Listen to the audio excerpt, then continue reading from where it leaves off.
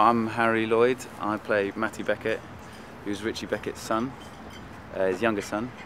He is, uh, of the two boys, he's the sensible, business-minded, logical, seemingly intelligent one, as opposed to the wild, kind of coked up, more instinctive uh, character that, that, uh, that Paul plays. The two twin threats, as it were, to the family are the Albanians and the Alzheimer's. And Matty's very much involved with trying to fend the Albanians off and trying to make these deals work and trying to stop these guys from moving in and taking everything we have.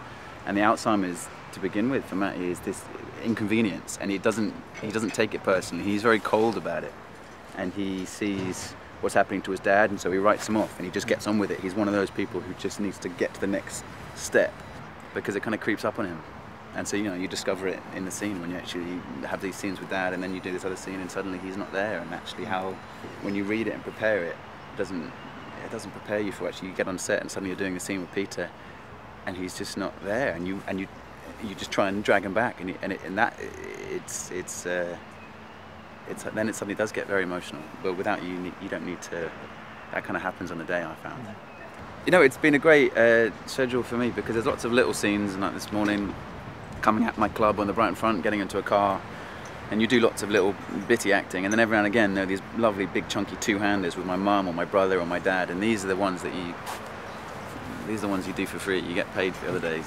These are the lovely, you know, you get two, three pages and all kinds of things happening, and working with these brilliant actors, and you throw it around, and it's really, I've loved doing all those.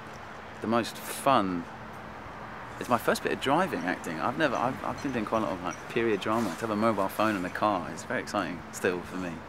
And uh, in scenes when we're driving away from the Albanians in episode one, you know, I'm sitting in this eighty thousand pound Mercedes and watching the Olympics on the little TV during like in between takes.